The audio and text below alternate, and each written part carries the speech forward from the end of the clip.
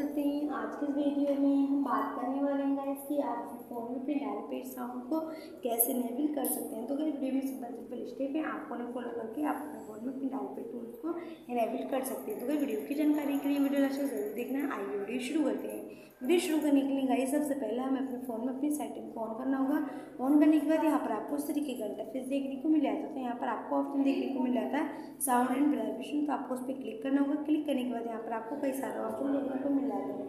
तो हमारा एक ऑप्शन आता है एडवांस तो आपको एडवांस पे क्लिक कर देना है। क्लिक करने के बाद यहाँ पर आपको कई सारे ऑप्शन देखने को मिलते हैं। तो सबसे पहले हमारा ऑप्शन आता है यहाँ पर डायरेक्ट पेड टूल्स तो गाइज़ हम अपने फ़ोन में अपने डायरेक्ट पेड टूल्स को इनेबल चाहते हैं तो इस ऑप्शन को हम ऑन कर देंगे। तो गाइज़ इस तरीके से आप अपने फ़ोन में अपने डायरेक्ट पेड टूल्स को इनेबल कर सकते। हैं तो गाइज़ आइए आपको चेक करा दें, जो हमने डायरेक्ट पेड टूल्स लगाई है, वो लगी है नहीं? तो उसके लिए आपको यहाँ पर जाना होगा, यहाँ पर आपको कोड नंबर सर्च करना है। तो गाइज़ देखिए जो हमारी डायल पेड टूल्स है, वो इनेबल हो चुकी है। तो गाइज़ इस तरीके से आप भी अपने फ़ोन में अपने डायल पेड टूल्स को इनेबल कर सकते हैं। तो अगर वीडियो पसंद आई हो तो शेयर करें लाइक करें। चैनल पर नए हो तो चैनल को सब्सक्राइब करें। मिलते हैं अगले नेक्स्ट वीडियो में। तब तक के लिए bye bye and take care